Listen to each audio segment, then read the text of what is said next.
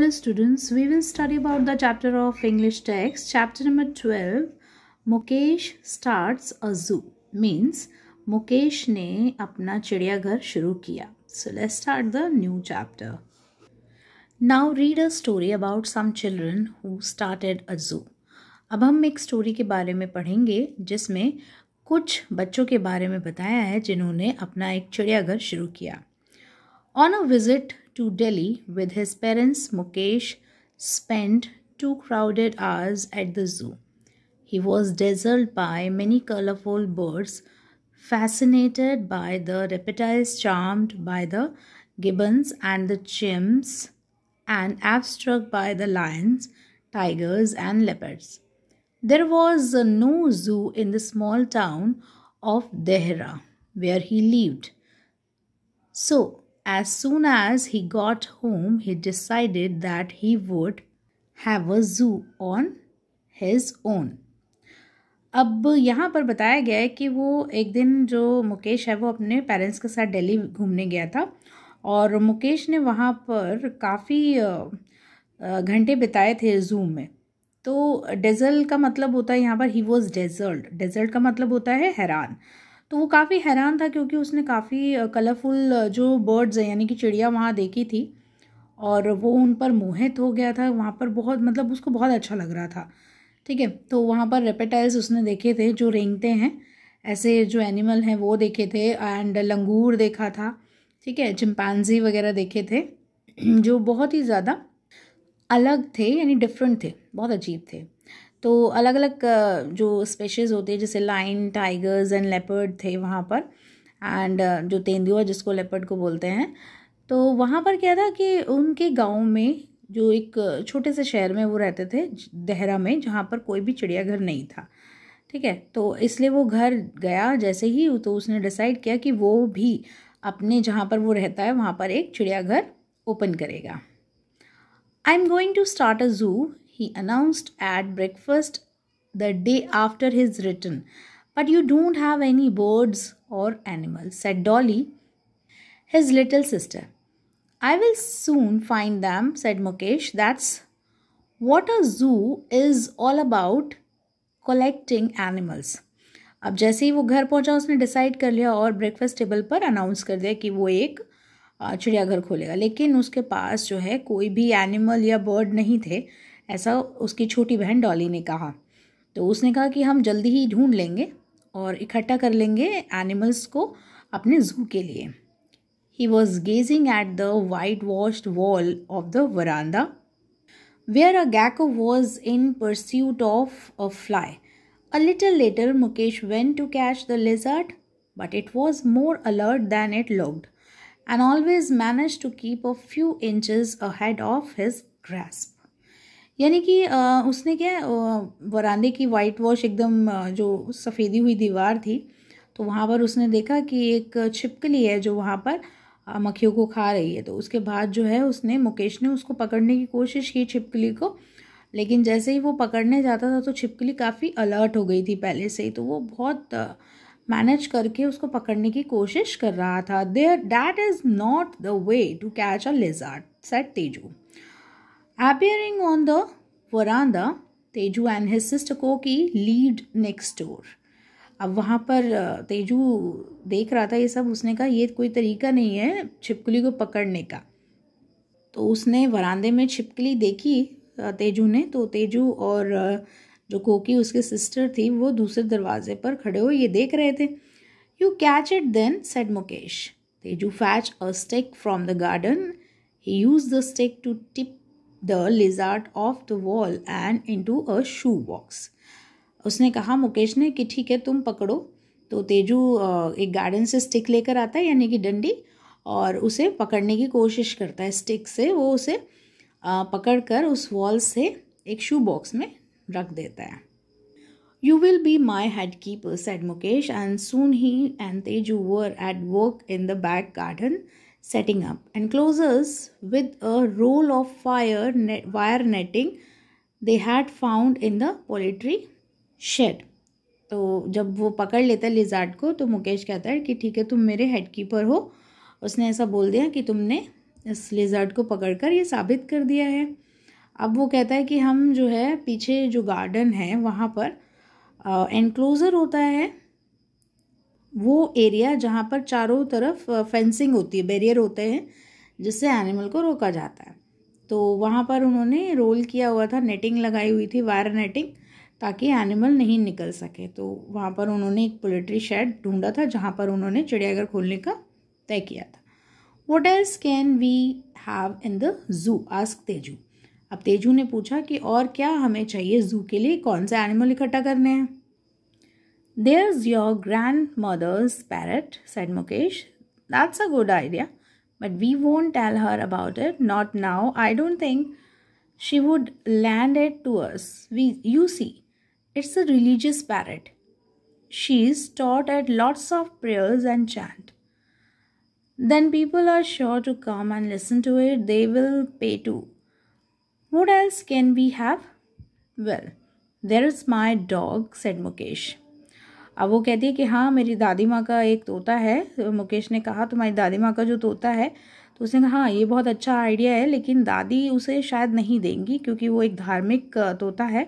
जैसे बहुत सारी प्रेयर्स और भजन भी आते हैं, ठीक है? प्रेयर्स यानी प्रार्थना और चांट यानी भजन। तो वो उसको आते हैं बहुत सारे, जिससे लोग वहाँ आएँगे उसे सुनने के लिए और वो पे भी करेंगे। तो उसने पूछा, मुकेश से कि तुम क्या लाने वाले हो? उसने कहा हाँ मेरे पास, मेरा डॉग है।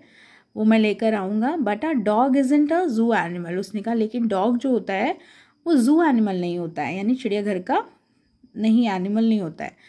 Mine is he is a wild look he is a black all over and he is got yellow eyes उसने कहा, लेकिन मेरा है, वो क्योंकि जंगली है और उस, वो ब्लैक है और उसकी पीली आँखें हैं. Koki has a white rabbit will she lend to us I don't know maybe we can rent it from her Koki के पास सफ़ेद रंग का रैबिट था, खरगोश। उसने कहा, क्या तुम उसे हमें उधार दे सकती हो? उसने कहा आई डोंट नो मुझे नहीं पता। लेकिन हाँ मैं उसे दे सकती हूँ मतलब रेंट पर। ठीक है, ला सकती हूँ उससे।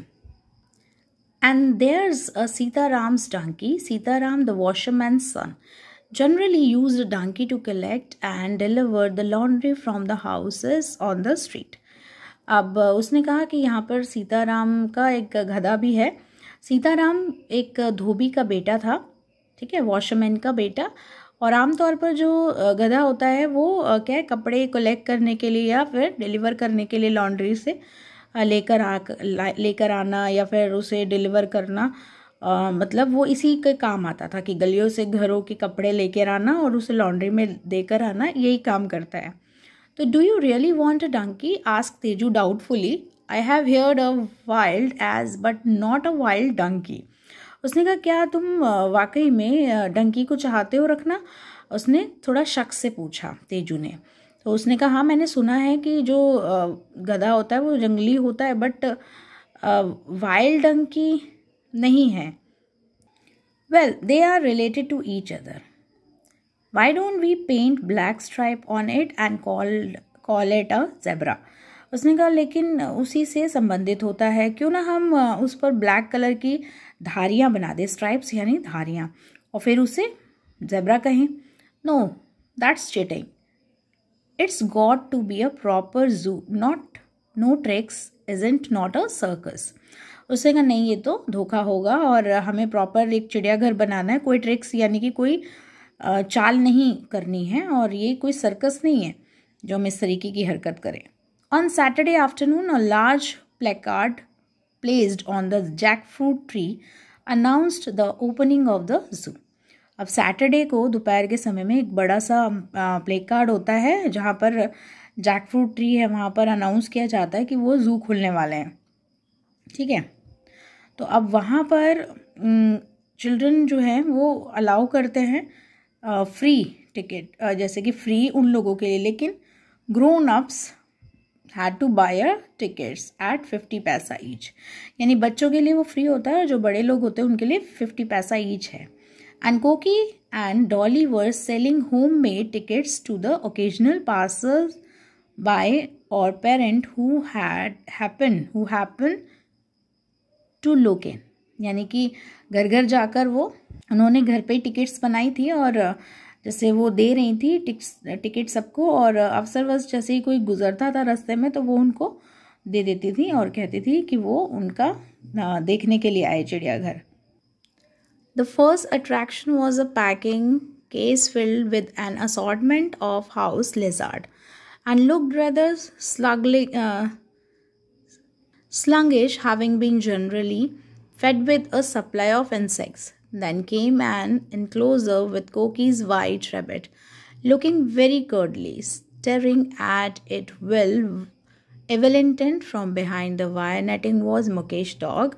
Rear black dog with yellow eyes read the notice on its enclosure.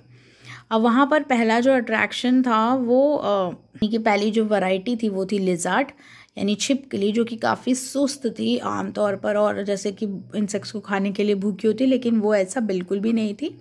ठीक है, बहुत ही सुस्त थी, और जो सेकेंड था वो कोकी का रैबिट था, यानी कि जो खरगोश था वो। ठीक है तो वो काफ़ी इधर उधर भाग रहा था, चल रहा था एंड वो देख रहा था अपना शिकार। वाइल्ड नेटिंग के, जो कि मुकेश का डॉग था, वहाँ पर लिखा हुआ था ब्लैक डॉग एंड उसकी आँखें जो है येलो है।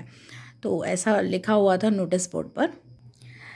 Tethered to a mango tree was a donkey with a placard saying wild as from Kutch. Everyone recognized it was it as the washerman's beast of burden.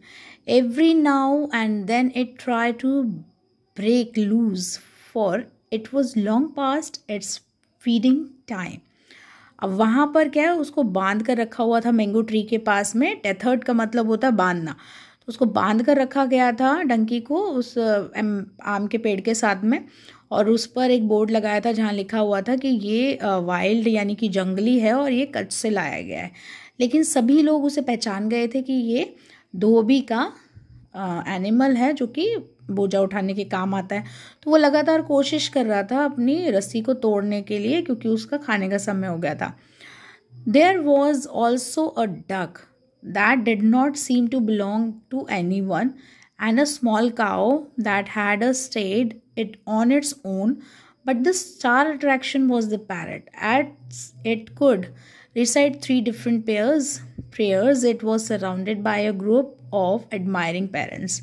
अब वहाँ पर duck भी थी जो कि ज़्यादा नहीं किसी से संबंधित थी और एक छोटी गाय भी थी ठीक है जो उनकी अपनी थी। और सबसे ज़्यादा स्टार अट्रैक्शन जो था जिन्होंने सबका ध्यान अपनी ओर खींच रखा था वो था पैरेट जिसने अलग अलग तरीके की तीन जो है प्रार्थनाएँ गाकर सुनाई थी और सब लोगों को अपनी ओर आकर्षित किया हुआ था। सब उसके चारों ओर खड़े हुए थे और पेरेंट्स को वो बहुत अच्छा लगा था। While Mukesh and Teju were escorted visitors around the zoo, Koki and Dolly were doing brisk business at the ticket counter. They had collected about 10 rupees when there was a disturbance in the enclosures. अब वहीं पर जबकि मुकेश और तेजू जो है वो देख रहे थे विजिटर्स को जो जू के यानी चिड़ियाघर में चारों ओर थे। कोकी और डॉली जो थे वो बिज़नेस कर रही थी टिकट काउंटर पर, यानी कलेक्ट कर रही थी टिकट और हर एक टिकट जो कलेक्ट करती थी वो टेन रुपीज़ में करती थी। और वहाँ डिस्टर्बेंस भी था उनके पास में। The black dog had dug himself out of his enclosure and was now busy trying to dig his way into the rabbit's compartment अब जो ब्लैक डॉग था वो जो गड्ढा खोदने में बिज़ी था वो कोशिश कर रहा था गड्ढा खोदने की कि वो रैबिट के कंपार्टमेंट में जा सकें The rabbit was running round and round, panic stricken in circles. Meanwhile, the donkey finally snapped the rope that had it and braying loudly scattered the spectres and made for him. अब वहाँ पर जो rabbit है, यानी खरगोश है, वो इधर उधर भाग रहा था राउंड एंड राउंड सर्कल में परेशान होकर उसका मतलब है डंकी फाइनली जो है उसने अपनी रस्सी को तोड़ दिया और बहुत ज़ोर ज़ोर से चिल्लाकर भाग रहा था और जो देखने वाले हैं वो भी अपने घर की तरफ़ भाग रहे थे। हफरा मतलब कि वहाँ भाग दौड़ मच गई थी। Koki rush to the rescue of her rabbit and had it cuddle in her arms then dog now turn his attention to the duck The duck flew over the packing case while the, dunk, uh, while the dog landed in it, scattering the lizard in all direction. In all this confusion, no one noticed that the door No one noticed that the door of the parrot's case had slipped open with a swag and a wire of wings. The bird shot out of the case and flew off into a nearby orchid. अब कोकी जो है भाग कर उसने अपने rabbit को अपने बाजू में उठा लिया। एंड डॉग जो है वो फिर उसका अटेंशन जो है डग की तरफ़ हो गया ध्यान। अब डग जो है वो उड़ गई, ठीक है? और वाइल जबकि जो डॉग है वो लैंड कर चुका था वहाँ पर और छिपकली जो है वो चारों तरफ़ डायरेक्शंस में चारों दिशाओं में भाग रही थी। कन्फ्यूज़न हो गया था, कोई उसे नोटिस नहीं कर रहा था। और जो जो पिंजरा है तोते का, वो खुला रह गया था तो कोई भी नोटिस नहीं कर रहा था और इतने में तोता है जो वो उड़ जाता है। ठीक है, अपने पंखों के साथ में और पिंजरा खाली हो जाता है, पास के ही बगीचे में तोता उड़ जाता है। The parrot's gone shouted Dolly and immediately a silence fell upon them even the dog stop barking how could they possibly face granny Teju wondered if she would believe him if he told her it had flown off to heaven. What can we do? he asked tearfully. अब तोता तो चला जाता है और डॉली जो है जल्दी से चिल्लाती है सभी जगह सन्नाटा फैल जाता है और डॉगी भी भौंकना बंद कर देता है अब वो कहता है कि अब हम ग्रैनी को कैसे फेस करेंगे वो वो तो बिल्कुल विश्वास भी नहीं करेंगी कि तोता ऐसे उड़ गया है पास के बगीचे में अब हम क्या करें वो रोता है the crowded fell away unwilling to share any of the blame अब वहाँ पर भीड़ थी तो हम किसी को इच्छा भी नहीं थी किसी से भी कि शेयर करें और हम किसी को ब्लेम कर सके Koki was too upset to suggest anything but Mukesh had an idea अब कोकी जो है वो बहुत अपसेट थी और कुछ सजेस्ट नहीं हो रहा था, लेकिन मुकेश ने एक आइडिया दिया we will get another one from the ten rupees we have collecting from the tickets he said all these hill parrot look like अब वो कहता है कि हम दूस, इन टेन रुपीज़ में जो हमने टिकट से इकट्ठा किए हैं, हम एक पहाड़ी तोता खरीद लेते हैं जो उसकी जैसा ही हुबहू दिखता हो। So they hurried off to the bazaar and brought a parrot not unlike granny's granny's granny who was short sighted did not notice the substitution but she complain bitterly that the bird had stop repeating its prayers and was instead making rude noises and swearing. अब जल्दी वो बाज़ार जाते हैं, वहाँ से एक तोता ख़रीद लाते हैं, जो उसकी तरह पूरा तो नहीं, लेकिन थोड़ा सा लगता था। और दादी माँ ने भी नोटिस नहीं किया कि ये उसका रिप्लेस है, यानी कि सब्सिट्यूशन है, यानी कि उसी की जगह में दूसरा तोता है। अब, लेकिन वो कंप्लेन करती थी कि वो रिपीट चुप हो गया रिपीट नहीं करता है प्रेयर्स को एंड नॉइस करता है, शोर करता है। Teju soon remedied this sad state of affairs. Every morning he stood in front of the parrot's cage and repeated Granny's prayers. Within a few weeks, the bird has learnt one of them. Granny was happy again not only because the parrot had starting praying but also because Teju had starting praying too.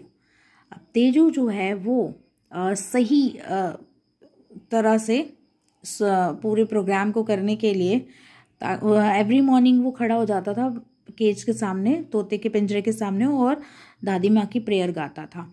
और कुछ हफ़्ते उसने ऐसे ही गाई वो prayer और birds को तुरंत से हर एक पोएम यानी कि प्रेयर्स लर्न हो गई। अब ग्रैनी जो है एक बार से फिर खुश हो गई थी। वो केवल इसलिए खुश नहीं हुई थी कि पैरट जो है वो प्रार्थना गाने लगा है, लेकिन वो इस वजह से खुश हुई थी क्योंकि तेजू जो है, वो प्रेयर वो भी साथ में तोते के साथ में प्रेयर गाता है, वो इसलिए खुश हुई थी। So I hope you understand this chapter